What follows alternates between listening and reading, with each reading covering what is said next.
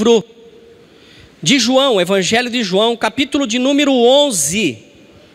Eu pedi para que colocasse aqui no, no telão também. Almeida Revista e Atualizada é a Bíblia que eu vou estar usando. Às vezes tem uma revista corrigida, uma NVI, que é uma nova versão internacional, ou uma outra tradução, mesmo sendo João Ferreira de Almeida, linguagem de hoje também tem. É, às vezes muda as palavras, mas não muda o objetivo. Eu quero perguntar aqui: quem tem um Lázaro na vida aí? Alguém tem parente chamado Lázaro, marido chamado Lázaro, filho chamado Lázaro?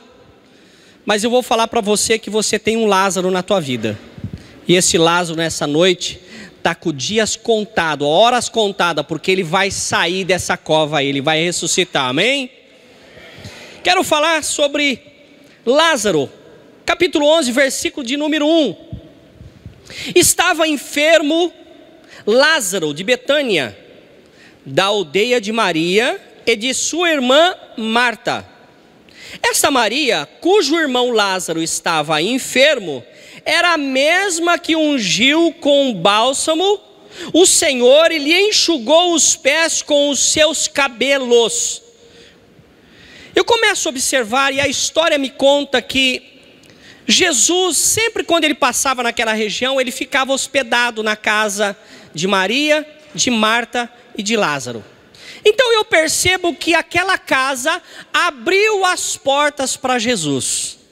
Ou a história não me diz, mas eu posso entender também que Jesus foi convidado para aquela casa. Você já convidou Jesus para sua casa? Quem já convidou Jesus para sua casa, diga amém. amém. Então eu creio que você chamou Jesus para a tua casa. E ali naquela casa, passando um tempo, o homem daquela casa, Lázaro, ficou doente, ficou enfermo. A enfermidade dele foi um declínio, foi para a morte. Mas Jesus não chamou aquela morte de morte, mas chamou aquela morte de apenas dorme. Por que apenas dorme? Porque quando Jesus está na casa, quando Jesus foi convidado, aquela enfermidade não é para condenação, é simplesmente momentânea. Quero dizer para você que aquilo que você está passando é algo momentâneo em nome de Jesus. Amém? Eu começo a entender, e no versículo de número 4 diz assim: Ao receber a notícia, disse Jesus: esta enfermidade não é para a morte, e sim para a glória de Deus. O que, que eu quero dizer para você? Que aquilo que você está vivendo, aquilo que você está passando, é para que você dê testemunho para glorificar o nome do Senhor. Eu digo isso por quê? Porque aqui no nosso meio tem pessoas passando por situações estreitas só não desistiu porque a esperança não tem mais nada que ofereça no mundo, porque a esperança só está no Senhor. Porque se tivesse uma fagulha de esperança no mundo, não estaria mais na igreja. Porque o mundo não vai te dar aquilo que você procura, porque você sabe, você está aqui e está recebendo essa palavra, porque você sabe que a solução daquilo que você procura, Deus tem nesta noite como uma bandeja para te entregar. A palavra de Deus continua me dizendo que Jesus recebeu essa informação, que aquele homem estava com aquela enfermidade, mas quando chega no versículo de número 6, aquilo que era esperança talvez de Marta, aquilo que era esperança talvez de Maria, não aconteceu conforme os planos dos homens, porque Deus está acima dos homens. Então ele não, o plano dele, a forma dele agir, a forma dele pensar, não é a nossa forma. E muitas vezes nós podemos ficar frustrados com isso. Mas eu quero dizer para você aqui no versículo de número 6: Quando, pois, soube que Lázaro estava doente, ainda se demorou dois dias no lugar que estava. Meu irmão, era uma enfermidade, era algo que Jesus sabia que era para a morte. Ele sabia que a família ia ter um ente querido morto na casa e Jesus não foi. Às vezes um de nós pode estar dizendo essa noite: Eu tenho orado, eu tenho lutado, e a minha vida, a situação tem definhado, tem ido a pique, eu não estou aguentando mais. Cadê Jesus que eu oro? Por que Jesus não está vindo? Por que Jesus não está vindo? Por que, que o Senhor não me ajuda? Deus sabe o que faz e às vezes a gente não sabe o que pensa. Deus está me dando uma palavra. Quando Deus me deu essa palavra para dizer para a igreja que Deus não está demorando, Ele quer fazer com que a tua bênção seja testemunho para ajudar outras pessoas a seguir o caminho que você está seguindo. Porque o milagre de Deus não é somente para você. Jesus jamais deu alguma coisa para alguém e esse alguém não pôde testemunhar ou compartilhar para que outras pessoas cresçam. Jesus, Deus, é aquele que patrocina projeto, porque aquilo que Deus dá para você, outras pessoas vão ser alcançadas através da sua vida. Eu já quero te dizer, se você está pensando em alguma coisa vindo de Deus, sem você dar testemunho para alguém, eu quero dizer que você está agindo de maneira egoísta e você pode demorar para receber a tua bênção por causa disso. Deus ele patrocina projeto. Se você tiver algo e falar, Deus, se o Senhor me abençoar com isso, quantas vezes eu já não vi isso escrito em carros? Este carro pertence a Jesus. Eu mostro a minha carteirinha de pastor e falo assim: você me empresta esse carro para ir para São Paulo? Que isso, irmão? Está pensando o quê? O carro está a serviço do Senhor, eu tenho a carteirinha de pastor. Coloco adesivo a serviço do Senhor, mas no dia de chuva, deixa o irmão na porta da igreja e vai embora, deixando ele na chuva. E depois no outro final de semana pergunta assim: irmão, você não veio terça-feira? Eu estava com uma gripe. Nossa, você é fraquinho, né? Sou, eu estava na chuva e você não me deu carona. Tomara que o seu carro aumente de tamanho, porque aí você leva a igreja toda, vai virar um ônibus o seu carro. Carro é para serviço de Deus, mas na hora de servir o irmão, deixou ele na mão palavra de Deus continua dizendo aqui para mim que ele demorou aí, ele não era Deus. Irmãos, Deus não demora, Ele age no momento certo. É que nós estamos acostumados com coisas que satisfazem o nosso desejo, mas nós não estamos nessa terra para satisfazer o nosso desejo, nós estamos aqui como servo para satisfazer o desejo de Deus. Então o que você pede para Deus hoje, Deus fala assim: hoje eu não vou te dar. Quantas vezes o filho não pediu alguma coisa para o pai e o pai não deu na hora que o filho pediu, mas falou plano, ah, esse que o filho pediu é pequeno perto daquilo que eu vou dar. E o filho fica frustrado. Nós somos filhos e Deus é nosso pai. Aquilo que você pediu, Deus já ouviu. Simplesmente Ele está preparando algo maior para você, é o que eu acredito é o que eu acredito, porque o meu Deus, o meu Deus é meu Pai, não é padrasto. O meu Deus é Senhor de todas as coisas, e se eu crer nele, aquilo que eu sonho vai vir melhorado. O Senhor demorou, mas quando eu chego lá no versículo 14, então Jesus disse para os discípulos que estavam com ele: Lázaro morreu. Mas lá atrás Jesus falou que ele estava doente, mas no versículo 14 fala que Lázaro morreu. E eu fico olhando nesse momento, quando Jesus demorou, e será que Jesus estava longe do local? Quando ele deu a notícia, Lázaro morreu, os discípulos falaram assim: acalmou a tempestade, multiplicou pães fez tanta coisa, transformou água em vinho, não podia ir até lá. Às vezes essa pergunta acontece no nosso coração: por que, que Jesus não me fez? Por que, que Jesus não fez isso? Olha aí, olha aí, olha aí. E na minha vida não acontece. Ei, Deus está trabalhando. A bênção, quando chegar na nossa vida, tem que ser bênção, não pode ser maldição. Tem muitas pessoas que vêm na igreja, faz campanha, pede carro, quando recebe o carro, vai para Getúlio Vargas mostrar para o mundo e Deus fica chupando o dedo. Deus dá, mas o mundo tira. Deus dá, mas o mundo tira. Nós temos que glorificar o Senhor, mostrar para Deus Irmãos, eu quero contar algo para você. Nós tivemos visitante aqui na igreja na sexta-feira e a pessoa veio falar para mim, irmão, fazia acho que uns 10 anos, mais ou menos uns 10 anos que eu não via a pessoa. Ela chegou aqui com a chave do carro na mão dela, falou: "Pastor, conquistamos uma bênção". E eu queria que o senhor orasse para que este carro que conquistamos seja a bênção da nossa vida. Irmão, faz 10 anos que eu não via a pessoa. Passou por um milhão de pastores aí na rua, um monte de pessoas, e pastora, ela frequenta uma outra igreja. E ela veio aqui para pedir a bênção.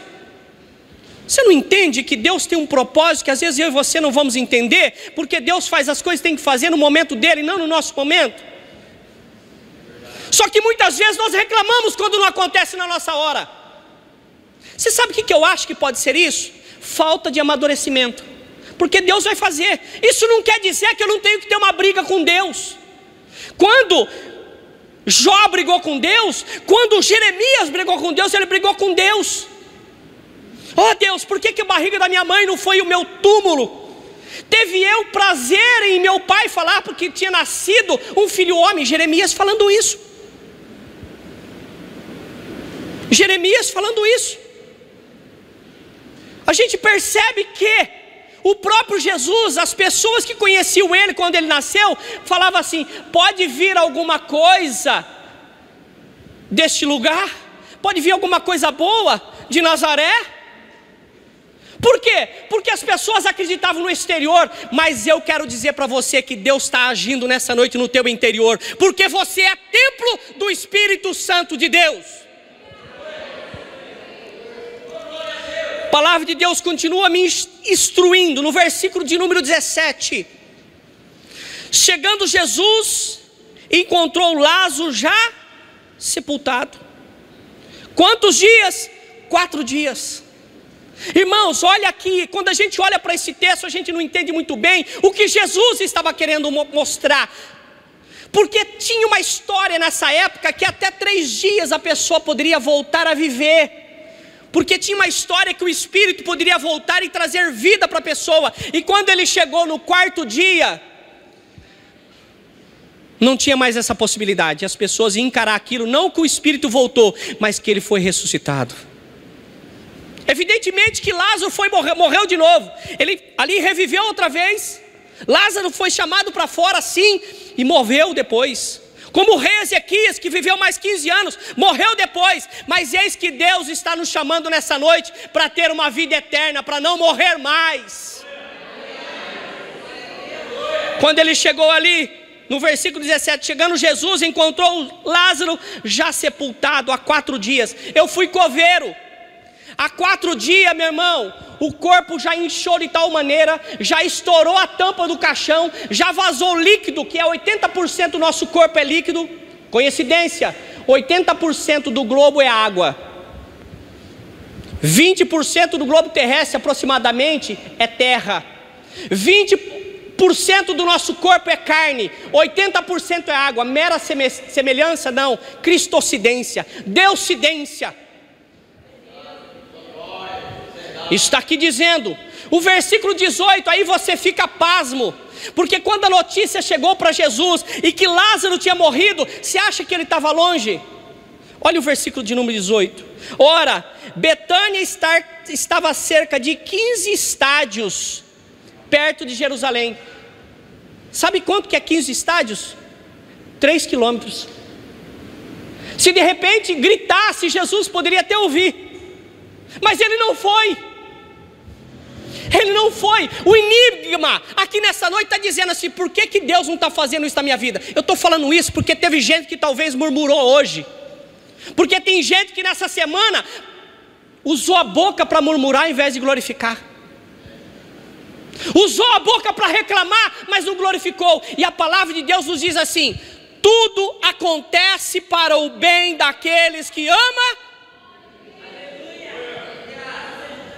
tem algo acontecendo na tua vida, em vez de você falar glória a Deus, sabe o que está falando? Você está reclamando e a bênção está demorando a chegar.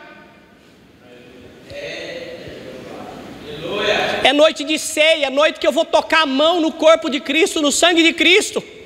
E eu preciso entender isso, meu irmão. Eu não fui chamado aqui nesta terra como pastor para falar o que você quer ouvir. Eu falo o que você quer ouvir, desde que o que você está querendo ouvir está na palavra de Deus. Eu não posso te ensinar outra coisa. Em Hebreus capítulo 13, versículo 17, diz que eu vou prestar conta da, das pessoas que Deus colocou diante de mim. Eu vou prestar conta. E eu não quero chegar lá no céu e Deus me cobrar de algo que Ele colocou para mim e eu não falei.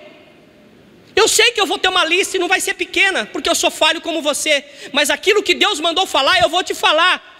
E eu sei que muitas coisas, meu irmão, não é agradável. Tomar injeção não é bom, porque dói, fura, mas pode salvar a vida. E talvez essa noite você está levando um chacoalhão de Deus para que a tua vida seja salva, porque talvez você está preso no passado, olhando como se o passado não pudesse ser diferente no, no futuro. O teu passado vai ser testemunho para as glórias as bênçãos que Deus vai te dar a partir da tua fé. Palavra de Deus continua me ensinando no versículo de número 28. Tendo dito isso, retirou-se Marta, antes de chegar aqui, Marta então ficou sabendo que Jesus estava vindo, foi de encontro a Jesus. E aí falou Jesus, teve aquela conversa com Jesus. Aí o versículo de número 28 encerra a conversa com Marta. Versículo 28, tendo dito isso, depois que ele disse tudo a Marta, você vai ler isso. Ele disse assim: retirou-se, retirou-se e chamou Marta, sua irmã. Ele disse: em particular: Mestre, chegou e te chama. Marta, então, depois de ter aquela conversa com Jesus, volta correndo, fala para Maria: Maria, o mestre está te chamando. Eu comecei, a hora que eu cheguei nesse texto, eu falei assim: oh, Marta era irmã de Lázaro. Marta era irmã de Lázaro. Por que, que Jesus não teve a conversa com, com Marta? Por que, que Jesus mandou chamar Maria e não falou com Marta? Aí a palavra de Deus veio e voltei lá no versículo de número 2. Olha o versículo número 2. Olha por que, que ele quis falar com, Mar, com Maria e não falou com Marta. Esta Maria, cujo irmão Lázaro estava enfermo, era a mesma que ungiu com bálsamo o Senhor e lhe enxugou os pés com seus cabelos. Houve uma entrega. Quantas mulheres teria coragem de eu tirar o sapato aqui agora, umidinho, e você enxugar o meu pé com o seu cabelo? O meu estaria limpo. Agora você imagina Jesus andando no deserto, pouca poeira. Aquela aquela pizza assim, né? Aqueles roupão. Chegou lá, sentou, ela veio, e enxugou com o cabelo. Há uma entrega, uma confiança. Ela falou assim: Olha, o meu eu, o meu orgulho, a, a, a, o meu sentimento. Não importa, o Senhor é o Senhor. E olha, quando eu cheguei no versículo número 28, eu entendi por que, que ele chamou Maria e não falou nada com Marta, porque antes disso, ele já tinha tido um encontro com Maria de uma forma especial, que não era naquela dentro da casa, não era naquela do churrasco, não era naquela no passeio do lanche, da pizza, mas era algo particular de adoração. Será que nós estamos tendo esse relacionamento de adoração com o Senhor? Fora de um momento que realmente é necessidade? Porque tem pessoas que chegam na igreja atropelando Jesus. Você tem que fazer agora. Você tem que fazer agora. Você tem que fazer agora. Não tem que fazer agora não. O que aconteceu, filho? Brasileiro não é assim, mas tem um pessoal que mora na Indonésia que deixa tudo para a última hora. Deixa eu falar uma coisa para você, só para te lembrar. Quem esqueceu de pagar o IPVA em janeiro e vai pagar com multa em fevereiro? Não levanta a mão, não. Por quê? Porque não estava na frente, porque não se planejou.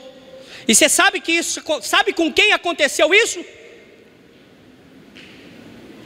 Comigo. Comigo aconteceu. O que eu estou querendo dizer para você é que eu tenho que ter um relacionamento antes, tenho que fazer as coisas antes, porque quando chegar o dia da necessidade, a gente não vinha atropelando Deus. Não adianta, nós não vamos atropelar Deus, a gente precisa ter um relacionamento com Deus. Maria tinha um relacionamento com Deus. Foi por isso que Jesus falou assim para Marta: manda chamar Maria. E Marta chegou lá para ela e falou assim: ó, o mestre te chama. Eu fico imaginando a cara de Marta. Maria, mestre te chama lá. Será que isso não acontece com a gente? Será que não está acontecendo isso com a gente?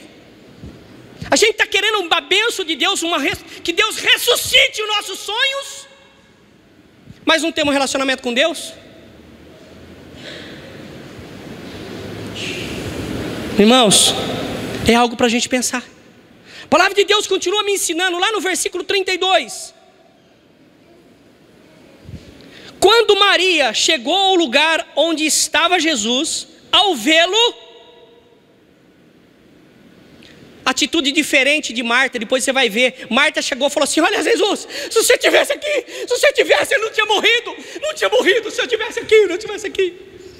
Maria foi diferente. Chegou, era o que ela fez.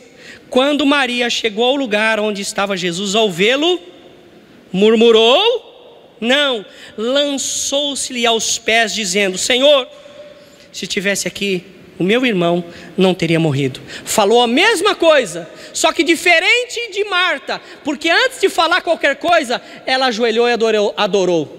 Quantas vezes não temos pedido para Deus antes de adorar?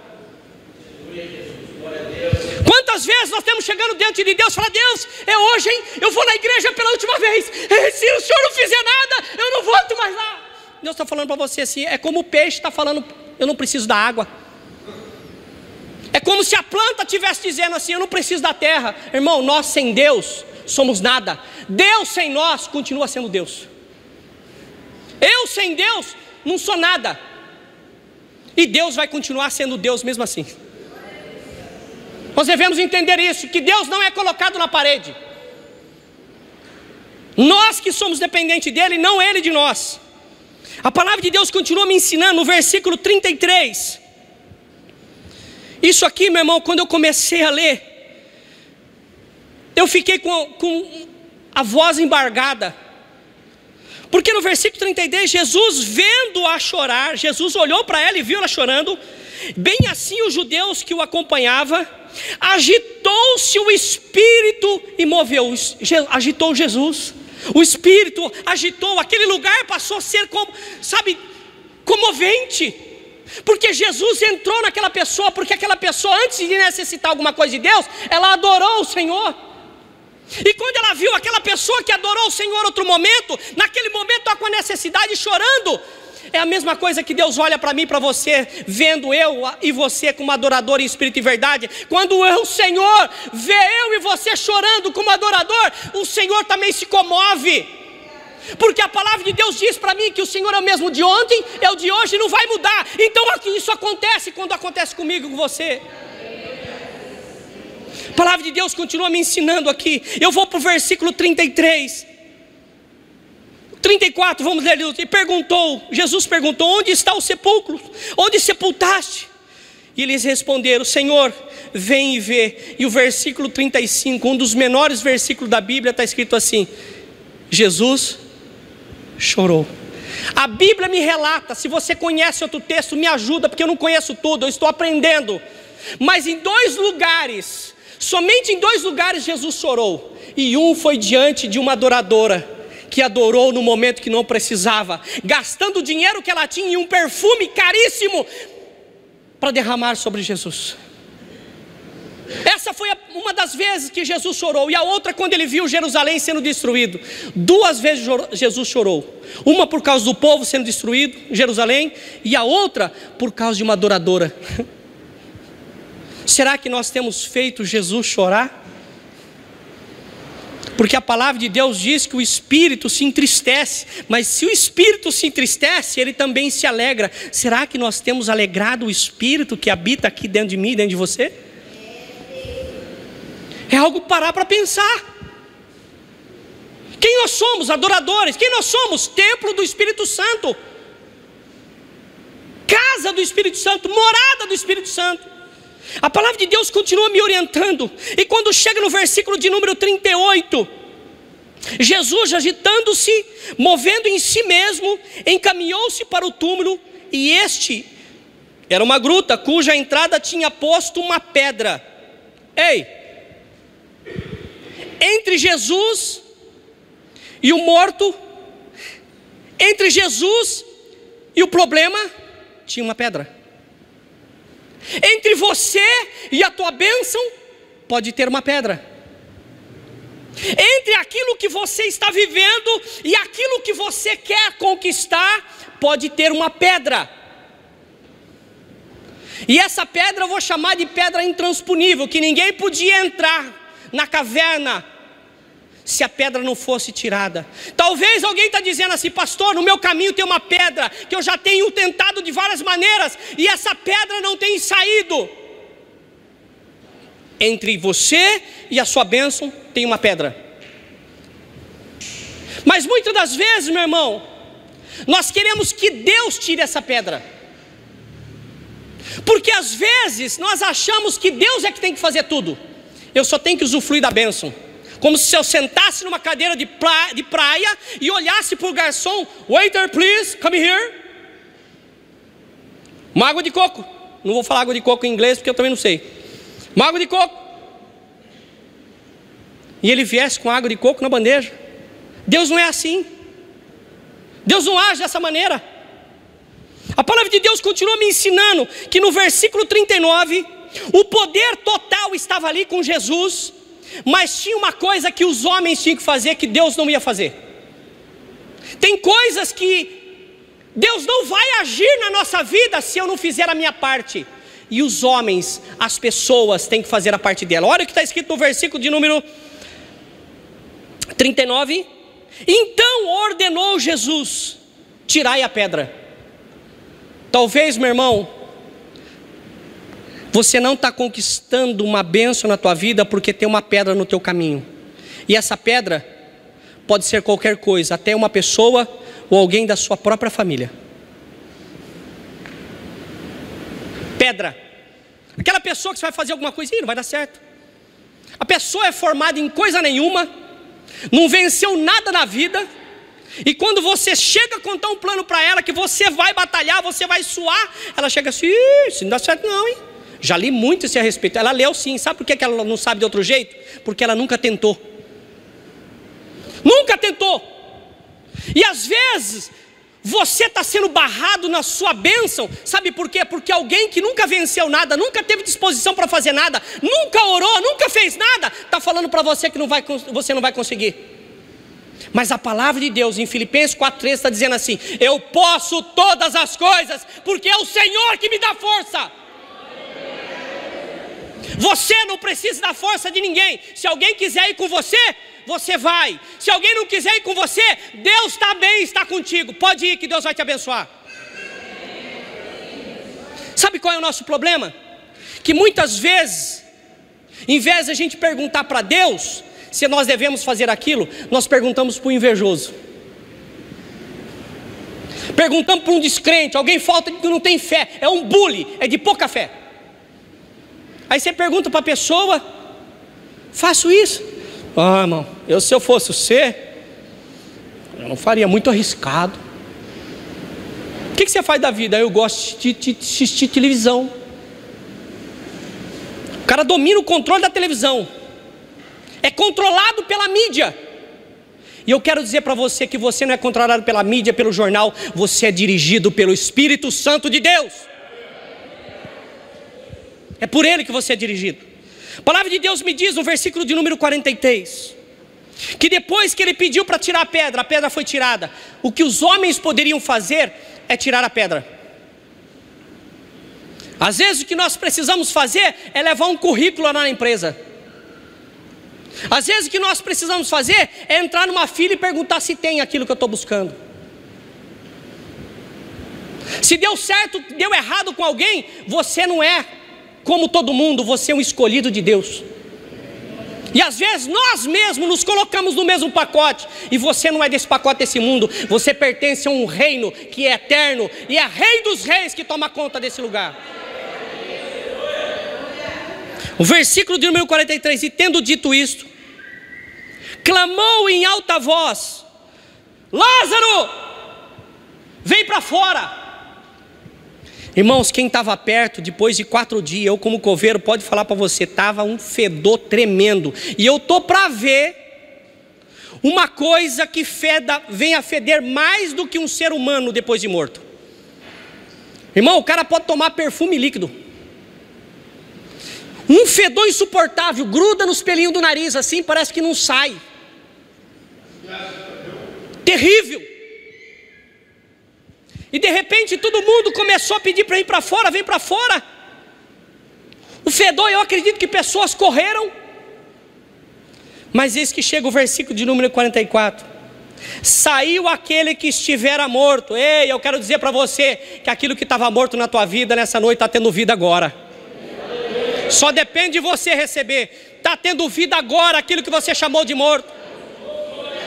Quem é o Lázaro da tua casa? É o marido? É a esposa? É o filho?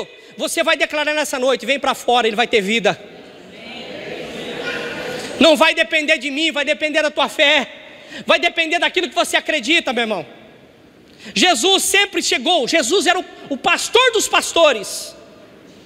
E ele chegava para uma pessoa que estava cega, que a pessoa que era curada, e ele dizia para a pessoa: A tua fé te curou.